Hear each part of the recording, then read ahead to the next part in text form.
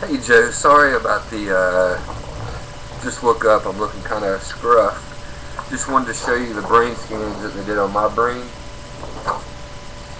Uh, let me clean up some of this mess here, bro.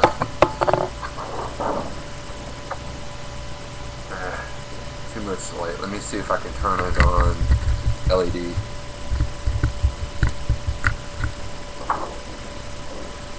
Not too bright.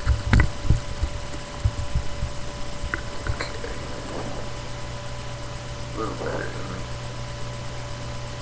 Yeah, you probably can't see. You see those little white dots? That is all little lesions on my brain. And see.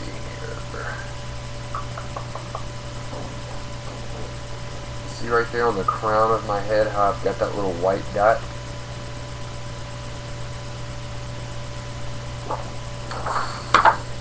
Okay.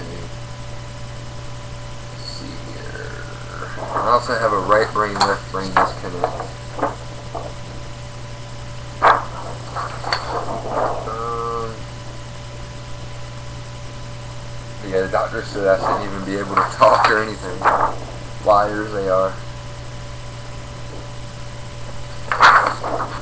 Okay, alright. This one right here, you see all that white right there? That's where my brain got disconnected.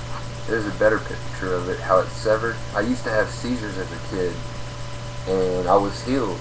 Um, but they usually cut the brain because of that, to prevent seizures. Well, God did it for me, I believe.